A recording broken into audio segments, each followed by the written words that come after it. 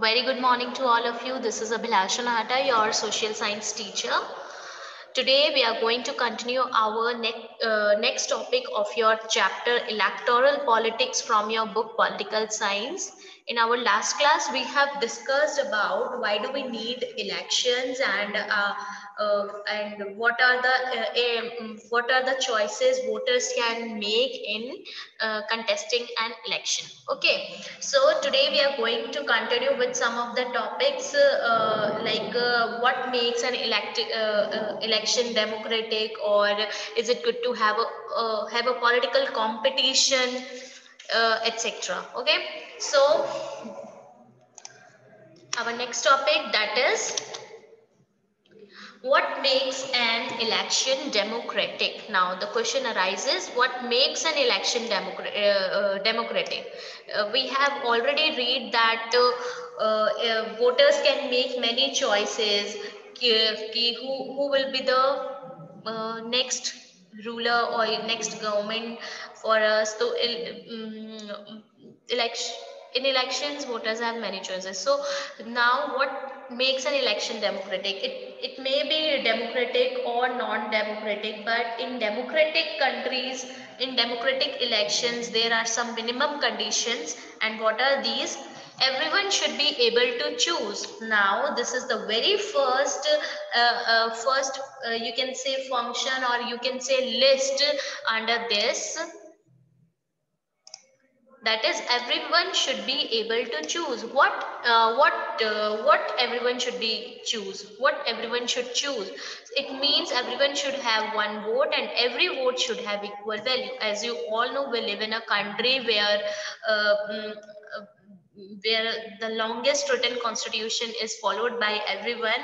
We have this right of voting universal uh, suffrage universal adult suffrage Okay, so here everyone should be able to choose. It means one vote and every vote should have equal value. Everyone should have only one vote and that one vote carries the carries equal value either uh, um, either the person is rich or poor chicken uh, men or women irrespective of their caste class religion everyone everybody have this right of equal uh, voting okay? And one vote one right.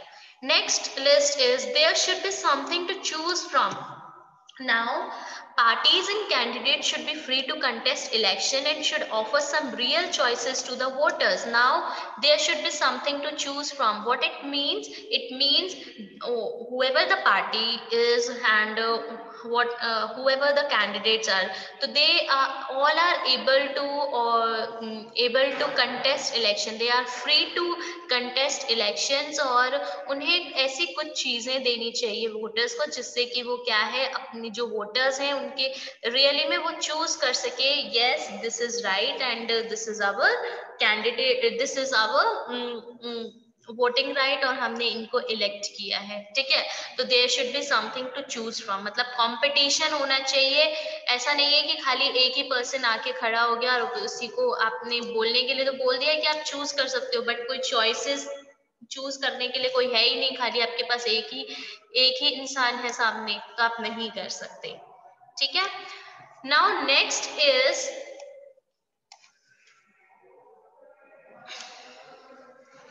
the choice should be offered at regular intervals choice जो है ये choice means कि ये जो election आप held करोगे, वो regular intervals में होना चाहिए। ऐसा नहीं है कि एक बार हमने इलेक्शन लड़ लिया, एक बार एक चॉइस दे दी लोगों को और उन्होंने एक हो गया काम। नहीं रेगुलर इंटरवल्स में उनको इलेक्शंस होने चाहिए, जिससे कि क्या है एक जो कंसिस्टेंसी है, ठीक है? जो एक आप फियर बोल सकते हो या फिर आप ये बोल सकते हो लोगों का फियर कि हाँ हमें कुछ अच्छा काम करना है पॉलिटिकल पार्टीज़ बोलेंगी तो क्योंकि उनके पास एक, उनको फियर है कि अगर अभी नहीं करेंगे तो नेक्स्ट नेक्स्ट इंटरवल में नेक्स्ट इलेक्शन में हम आएँगे नहीं। तो चॉइसेस जो है रेगुलर इंटरवल्स में होते रहने चाहिए। इलेक्शंस जो है, कुछ सालों में, जैसे इंडिया में फाइव ईयर्स में होते हैं, हर हर पाँच साल में इलेक्शन होता है, वैसे कुछ रेगुलर इंटरवल्स में इलेक्शंस का होना ज़रूरी है। The candidate preferred by the people should get elected और जो कैंडिडेट लोगों लोगों ने प्रेफर किया है, ठीक है? मैक्सिमम पॉपुलेशन जिस कैंडिडेट को प्रेफर करती है, उसी को ही क्या करना चाहिए? हमें इलेक्ट करना चाहिए। And now next fifth list fifth under this list is election should be conducted in a free and fair manner where people can choose what they really wish ठीक है? और हमारा जो इलेक्शन है फ्री और fair manner में होना चाहिए और लोगों के पास ये चॉइस होती होनी चाहिए कि वो चूज़ कर सकते हैं कि सच में हमें यही चाहिए। हमारा हमारा जो हमारी जो गवर्नमेंट है हमारा जो रिप्रेजेंटेटिव है फ्री और फेयरली मैनर से हम चूज़ करें। ठीक है? So these are the five conditions a democratic condition. This is uh, first one is uh, one vote one one vote and every vote have should have equal value. Second is um, parties and candidates should be there to contest elections and some uh, voters have some choices. Ne next is uh, election must be held regularly after, uh, in some um, intervals or you can say uh, after every years every few years candidate preferred by the people should be elected. Um, your next list uh, under this democratic election is ki jo uh, the candidate preferred by the people should get elected and the next one is uh, election should be conducted in a free and fair manner. These are some of the minimum conditions okay so so, ये जो conditions हैं कभी कभी हमें बहुत easy लगती है कि we might look like very these are the very simple and easy conditions but there are many countries there these are not fulfilled there the government और the people were not able to fulfilled these these requirements these conditions okay? So uh, um, So uh, further, we will apply these conditions to the elections held in our country and see if we can call these democratic uh, elections. Uh, we can call our elections a democratic elections. Okay.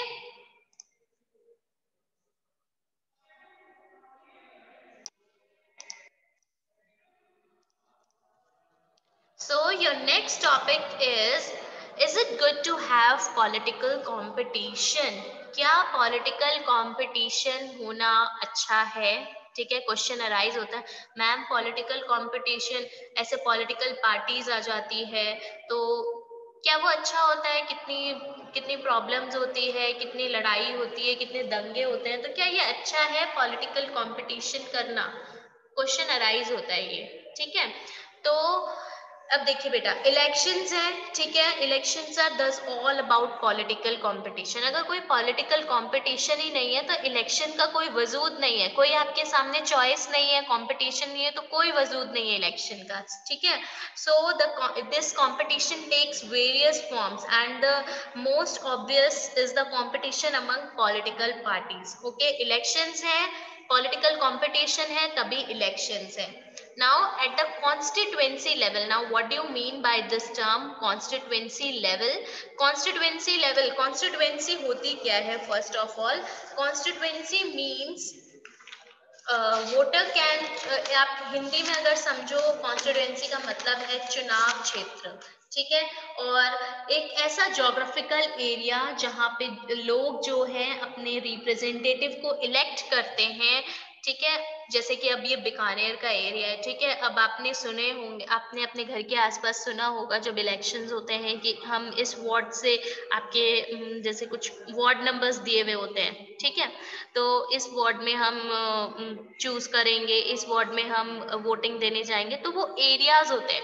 जो ऐसी geographical area जहाँ पे voters जो है अपने representative को elect करते हैं लेजिस्लेटिव बॉडी के लिए, उसको हम कॉन्स्टिट्युएंसी लेवल बोलते हैं उसको हम चुनाव क्षेत्र बोलते हैं ठीक है so uh, it takes the form of competition among several candidates if there uh, if there is no competitions elections will become pointless okay अगर कोई competition ही नहीं है तो और हर एक constitution में बहुत सारे candidates आते हैं और उनके बीच में क्या होता है competition होता है और अगर candidates नहीं है competition नहीं है तो elections इज लाइक पॉइंटलेस कोई वजूद नहीं है इलेक्शन का ठीक है and but the question arises uh, is it good to have political competitions now clearly an electoral competition has many demerits we have seen we have seen many demerits of the, uh, these electoral competition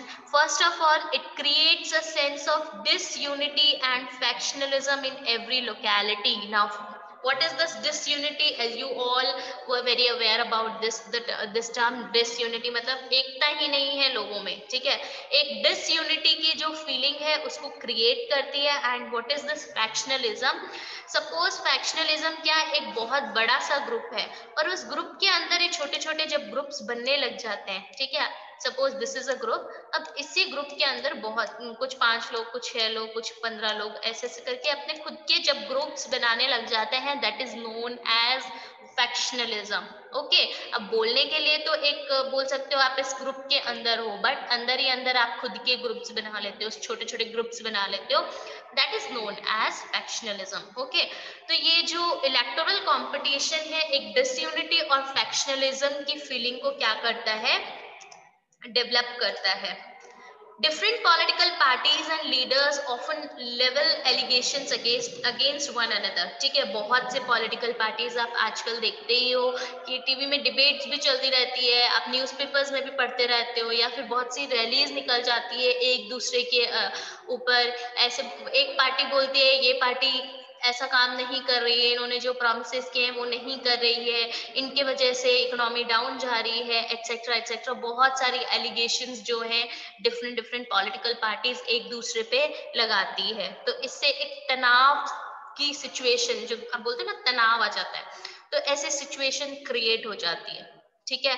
और कुछ जो parties हैं, ठीक है? कुछ parties जो हैं और कैंडिडेट्स हैं कभी कभी डर्टी ट्रिक्स भी यूज़ करते हैं। अब डर्टी ट्रिक्स का मतलब क्या है? आपने जैसे कुछ मूवीज़ में देखा होगा कि मर्डर कर दिया या फिर आप बोल सकते हो कि अंदर ही अंदर पॉलिटिक्स खेलने लग जाते हैं।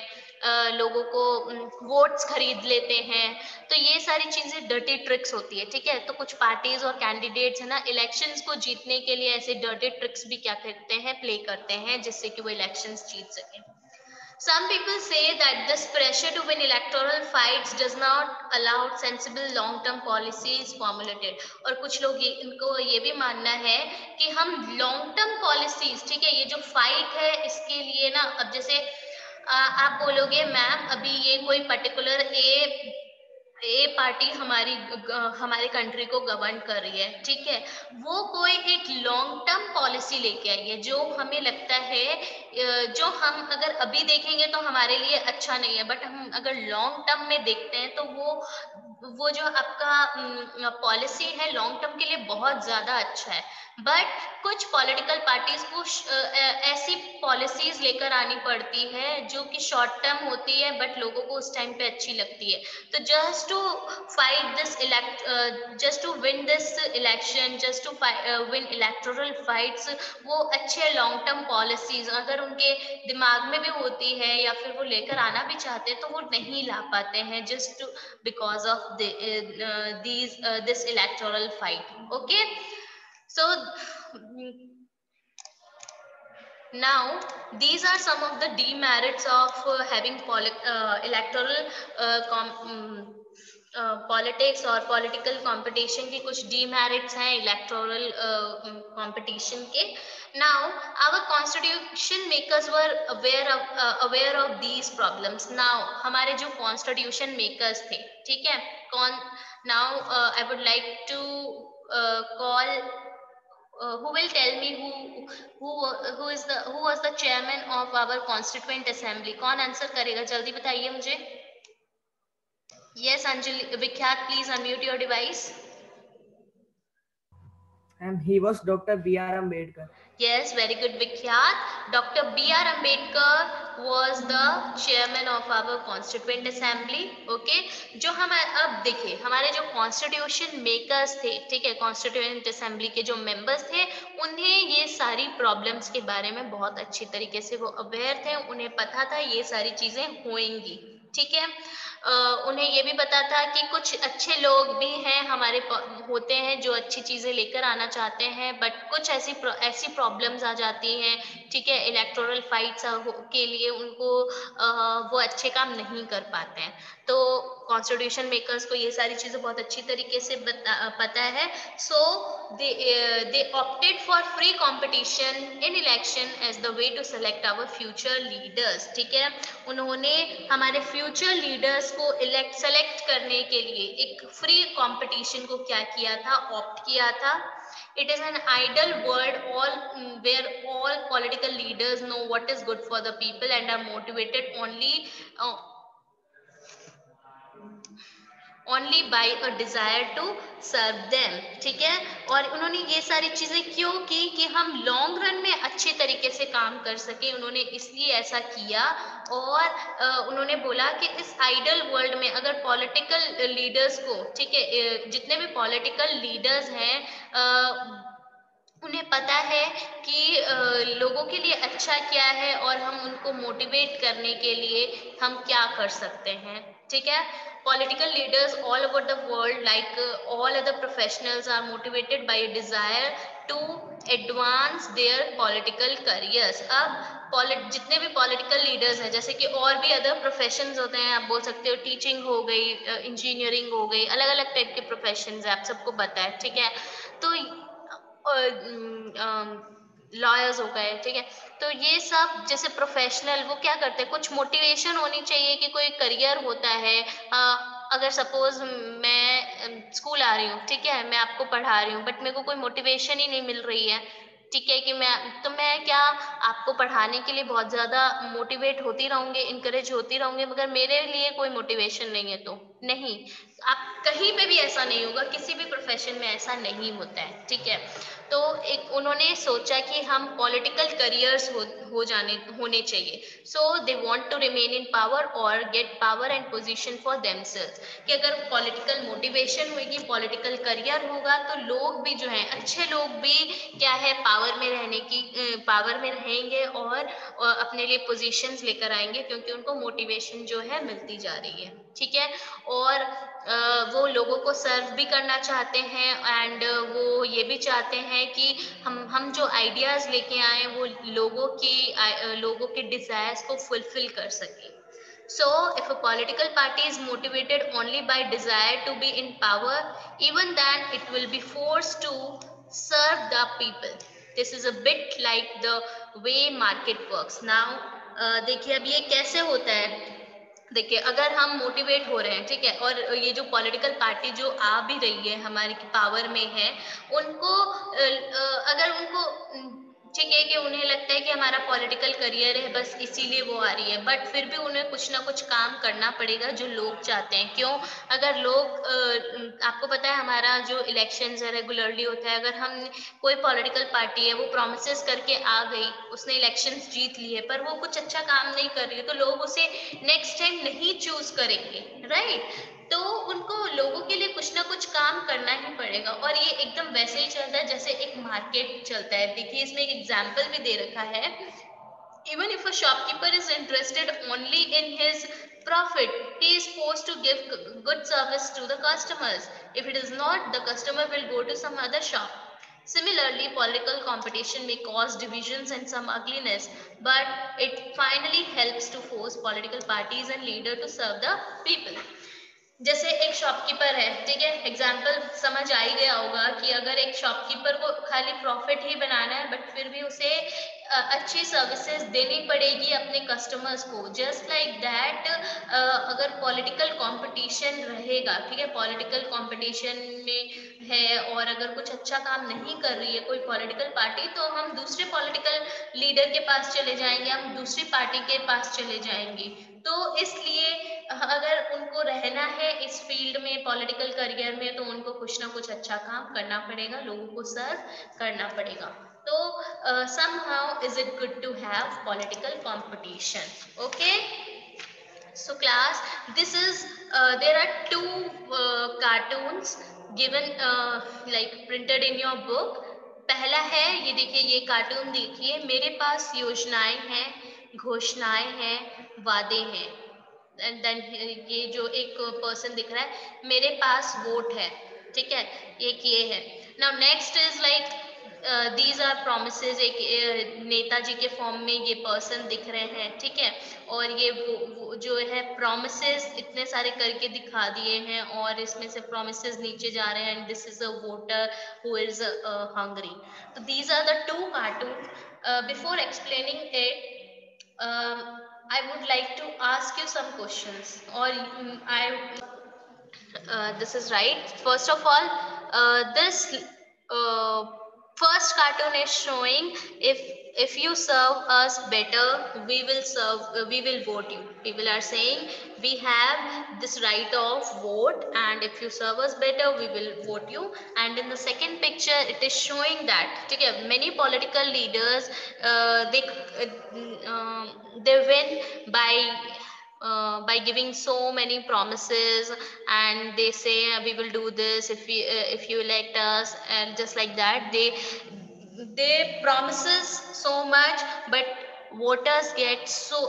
uh, full uh, voters get very little promises fulfilled by them. Okay.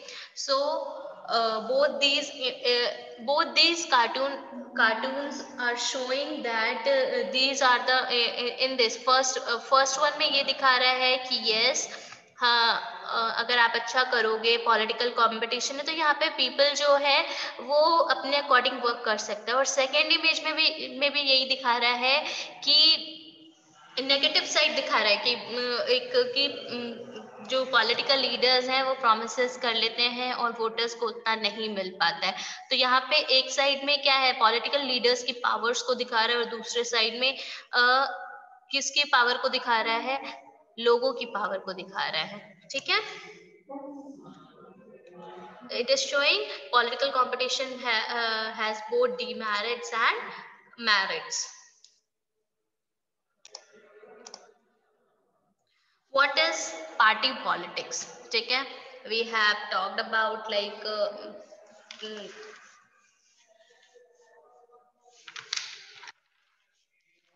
sorry this uh, this uh, before party politics we will talk about what is our system of election.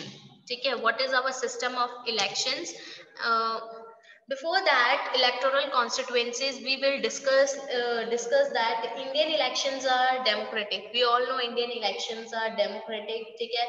we have lok sabha and vidhan sabha elections held regularly after every 5 years and we choose our representatives now there are two terms ठीक है elections are held in all constituencies at the same time either on the same day or within a few days हर पाँच साल में जब आप election देखते हो कि हर स्टेट में जो है या तो एक ही दिन हो रहा है या कुछ टाइम पीरियड में हो रहा है, ठीक है? तो वो जो इलेक्शंस हैं, ठीक है आप लोकसभा के बोल लो या विधानसभा के बोल रहे हो, जब पूरे देश में साथ में हो रहे होते हैं या कुछ दिनों के अंदर होते हैं, उनको हम जनरल इलेक्शन बोलते हैं। बट कभी कभी ऐसा होता है कि जैसे कि कोई जो election sometimes elections uh, is held only for our con one constitution to constituency to fill the vacant vacant seat ठीक है और वो vacant seat क्यों हो जाती है because of because of the death या फिर किसी ने resign कर दिया है किसी member ने तो उस वजह से वो जो position है वो vacant रहती है खाली रहती है इसलिए उस constituency में क्या है elections होते हैं और उस election को हम by election बोलते हैं ठीक है?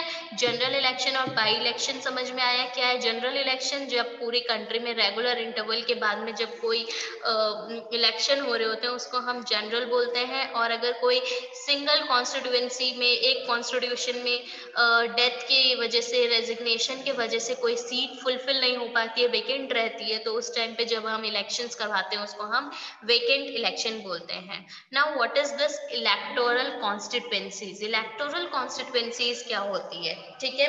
सो so, हमने जो पहले आपके बुक में सबसे पहले ही पहले जो आपका एग्ज़ाम्पल गिवन था हरियाणा के असेंबली इलेक्शन का जहाँ पे लोकदल पार्टी के 90 एमएलए जो हैं वो लोगों ने इलेक्ट किए थे। तो अब क्वेश्चन अराइज अराइज होता है कि 90 एमएलए क्या हरियाणा के हर एक पर्सन ने क्या उस एमएलए को ही चूज़ किया था? नहीं ऐसा नहीं होता है। ये जो एमएलए हैं, ठीक है, वो कैसे चूज़ होते हैं अकॉर्डिंग टू द कॉन्स्टिट्युएंसी आपको बता चुके हैं कॉन्स्टिट्युएंसी क्या होता है? एक चुनाव क्षेत्र, एक geographical area particular geographical area वहाँ के जो पर्टिकुलर वोटर्स होते हैं, वो क्या करते हैं? उस कॉन्स्टिट्युएंसी के, उस एरिया के मेंबर को लीडर को चूज़ करते हैं। ठीक है so in our country we follow an area based system of representation and an area based system of representation is known as constituency and our constituency our country is divided into different areas for purpose of elections and these uh, areas are called electoral constituencies our देखिए next image देखिए आप अपनी book में मैं आपको दिखाती हूँ देखिए, ये आप जो इंडिया का मैप देख रहे हो, इसमें आप देख रहे हो कि कितने कितने अलग अलग तरीक़े में ऐसे बटी हुई है और आपने अपनी अर्लियर क्लासेस में बोला है लोकसभा की जो सीट्स होती है, कितनी सीट्स होती है टोटल कॉन्स्टिट्युएंसीज कितनी है? 543 टू 545 तक की कॉन्स्टिट्युएंसीज हैं। ठीक है? तो ये जो कॉन्स्टिट्यूंसीज है, वो क्या है? जोग्राफिकल एरिया है, जहाँ पे लोग चूज़ करते हैं अपने उस एरिया पर्टिकुलर एरिया के मेंबर को, ठीक है? तो इनको हम क्या बोलते हैं? इलेक्टोरल कॉन्स्टिट्यूंसीज बोलते हैं। और जो इलेक्ट जो वोटर्स वहाँ उस एरिया में रहते हैं ठीक है, वो अपने एक रिप्रेजेंटेटिव को चूज़ करते हैं। लोकसभा इलेक्शंस में टोटल कितनी कॉन्स्टिट्युएंसीज है? टोटल 543 कॉन्स्टिट्युएंसीज हैं एंड इनके जो रिप्रेजेंटेटिव्स होते हैं 543 जो आप कॉन्स्टिट्युएंसीज देख रहे हो, उसके जो रिप्रेजेंटेटिव्स होते हैं, उसको हम बोलते हैं मेंबर ऑफ़ पार्लियामेंट और एन एमपी ठीक है? जो लेजिस्लेटिव लोकसभा के आपके इलेक्शंस होते हैं। ठीक है, जो एक कॉन्स्टिट्युएंसी जैसे बीकानेर है, पूरे बीकानेर में बीकानेर की क्या है, एक constituency I I had just given example okay तो उसका हम एक रिप्रेजेंटेटिव चूज़ करते हैं, जैसे कि यहाँ का जो हमारे सांसद हैं, वो है जैसे कि एक पर्टिकुलर एरिया से जिस एक सांसद सांसद निकलते हैं, ठीक है? आप सांसद बोलते हो ना तो वो कौन है? मेंबर ऑफ़ पार्लियामेंट है वो और वो किस एरिया से आए हैं? वो पर्टिकुलर इस एरिया से आए हैं, इस कॉन्स्टिट्युएंसी से आए हैं, ठीक है? तो टोटल 543 कॉन्स्टिट्युएंसीज हैं। तो हम अपने रिप्रेजेंटेटिव को चूज़ करते हैं और उसको हम मेंबर ऑफ़ पार्लियामेंट बोलते हैं। And you know every vote should have equal value ये एक फीचर है हमारे हमारे पॉलिटिकल कंपटीशन का या इलेक्टोरल कॉन्स्टिट्युएंसी का, हमारा वोटिंग राइट right है। Similarly each state is divided into specific number of assemblies पहले हमने बात कर ली मेंबर ऑफ़ पार्लियामेंट की कॉन्स्टिट्युएंसी की। पूरे ऑल ओवर इंडिया में 543 कॉन्स्टिट्युएंसीज हैं, ठीक है? अब हर एक स्टेट में भी क्या है? डिफरेंट डिफरेंट क्या है? उसको डिवाइड किया गया है और उसको हम बोलते हैं असेंबली कॉन्स्टिट्युएंसीज ठीक है? इलेक्टोरल कॉन्स्टिट्यूएंसीज किसको बोलेंगे? पूरी कंट्री जब डिवाइड की गई है, उसको हम इलेक्टोरल कॉन्स्टिट्युएंसी बोलेंगे। और जब एक स्टेट को डिवाइड कर दिया जाता है डिफरेंट डिफरेंट नंबर्स में, उसको हम असेंबली कॉन्स्टिट्युएंसीज बोलते हैं। The elected representative is called member of legislative assembly और उसको हम बोलते हैं एमएलए बोलते हैं या फिर मेंबर ऑफ़ लेजिस्लेटिव असेंबली बोलते हैं ठीक है? उस स्टेट के अंदर ही जब डिफरेंट डिफरेंट जो एमएलए होते हैं ठीक है? डिफरेंट डिफरेंट जो पर्सन uh, जो अपॉइंट होते हैं रिप्रेजेंट करते हैं कुछ कुछ किसी पर्टिकुलर एरिया के लिए उसको हम एमएलए बोलते हैं ठीक है? और अब each parliamentary constituency has within it several assembly constituency और हर एक parliamentary that is electoral constituency के अंदर बहुत सारी असेंबली कॉन्स्टिट्यूएंसीज होते हैं। जैसे एक सब आप सबने अर्जुन राम जी मेघवाल का नाम सुना हुआ होगा ही इज़ वन ऑफ़ जैसे कि लास्ट लास्ट इलेक्शन में he is one of our like MP ठीक है? तो उनके अंडर क्या है अब जैसे एमपी हो गए, वो क्या है ऑल ओवर कंट्री की बात हुई। अब एमएलएज आपने सुना होगा यहाँ पे सिद्धि कुमारी और ऐसे ऐसे बहुत सारे एमएलएज है हमारे बीकानेर के एरिया में, ठीक है? तो वो कौन है? वो एमएलए है यहाँ की, ठीक है? तो ये स्टेट के अकॉर्डिंग होता है और वो कंट्री के अकॉर्डिंग डिवीज़न होता है मेंबर ऑफ़ पार्लियामेंट और मेंबर ऑफ़ लेजिस्लेटिव असेंबली और सिमिलरली अब पंचायत और म्यूनिसिपल इलेक्शंस भी होते हैं और हर एक विलेज और टाउन को डिवाइड किया जाता है डिफरेंट वार्ड में. आपने सुना होगा ward number 18 ward number 24 ward number 68 ऐसे ऐसे डिफरेंट डिफरेंट वार्ड्स होते हैं, ठीक है? वो उनको भी हम क्या है, उनकी खुद की अलग कॉन्स्टिट्युएंसीज होती है। वो कॉन्स्टिट्युएंसीज के जैसा ही होता है बट उनको हम क्या बोलते हैं? वार्ड्स बोलते हैं। Okay each wards elect one member of the village और द अर्बन लोकल बॉडी और हर एक वार्ड में एक मेंबर को विलेज का एक मेंबर या अर्बन लोकल बॉडी का एक मेंबर को हम इलेक्ट करते हैं। ठीक है? Now this is an example बेटा देखिए हर एक स्टेट को हम डिवाइड तो करते हैं बट उनके पॉपुलेशन के प्रपोर्शन में करते हैं कि जैसे कि ऑल ओवर इंडिया में ठीक है अब कुछ कुछ स्टेट्स बहुत बड़े हैं कुछ स्टेट्स कम है तो हम उनके पॉपुलेशन के अकॉर्डिंग क्या करते हैं उनको डिवाइड करते हैं। अब है, एरिया के वाइज राजस्थान जो है सबसे लार्जेस्ट uh, स्टेट है ठीक है। बट अगर हम पॉपुलेशन के अकॉर्डिंग देखते हैं तो यूपी सबसे सबसे पॉपुलस कंट्री है तो वहाँ की जो कॉन्स्टिट्यूंसीज है, वो सबसे ज़्यादा है। तो हम अपनी कॉन्स्टिट्यूंसीज को कैसे डिवाइड करते हैं according to the proportion now just look at this example this is Gulbarga Lok Sabha constituency ठीक है गुलबर्गा लोकसभा कॉन्स्टिट्यूंसी है। गुलबर्गा कर्नाटका में एक, आप बोल सकते हो कर्नाटका का एक डिस्ट्रिक्ट है। ठीक है डिस्ट्रिक्ट है गुलबर्गा अब ये देखिए अजवलपुर गुलबर्गा उत्तर गुलबर्गा रूरल चितापुर, सदेम, गुरमितकल, जेव, जेवरागी, ये क्या है? ये गुलबर्गा दक्षिण, ये क्या है? अलग अलग एरियाज़ हैं अलग अलग गुलबर्गा की कॉन्स्टिट्युएंसीज है गुलबर्गा डिस्ट्रिक्ट के अंदर अंदर ठीक है? और गुलबर्गा कौन सा है? ये देखिए, ये कर्नाटका का आपका कर्नाटका का क्या है? कर्नाटका का मैप है और उसमें गुलबर्गा ये है और गुलबर्गा जो है कर्नाटका की सबसे आ, सबसे लार्जेस्ट डिस्ट्रिक्ट है। बट यहाँ पे जो ये गुलबर्गा डिस्ट्रिक्ट है बेटा ये सब इसको है जो है पूरा प्रॉपर जितनी लोकसभा कॉन्स्टिट्युएंसीज में जितनी होनी चाहिए उतनी सीट्स नहीं मिली है। ठीक है? अब ऐसा क्यों हुआ है? क्योंकि हमने इसको कैसे डिवाइड किया है? इसको हमने डिवाइड किया है अकॉर्डिंग टू देयर पॉपुलेशन तो प्रपोर्शन में होना चाहिए, इसलिए गुलबर्गा के अंदर भी हमने क्या किया है? अकॉर्डिंग टू देयर पॉपुलेशन हमने उनको, उनकी कॉन्स्टिट्युएंसीज को इंक्लूड किया है। ठीक है? So why is the boundary of the Gulbarga Lok Sabha constitution not the same as the district boundary of Gulbarga? That is Kalaburagi ठीक है? अब देखिए, गुलबर्गा की जो लोकसभा कॉन्स्टिट्युएंसी है, वो इस कॉन्स्टिट्युएंसी से काफ़ी डिफरेंट है। इस, ये अगर हम ये देखें और अगर हम ये देखते हैं, ये वाला जो बाउंड्री देखते हैं कॉन्स्टिट्युएंसी से काफ़ी डिफरेंट है। It is just because of the proportion of the population lives here right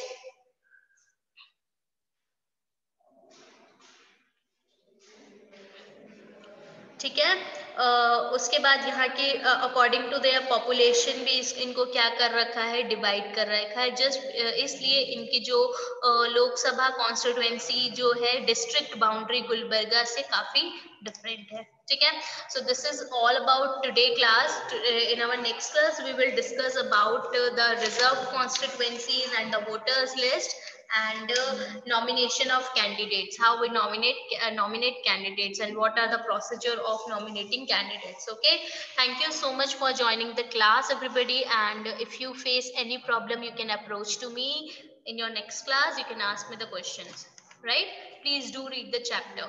Please take care of yourself. Bye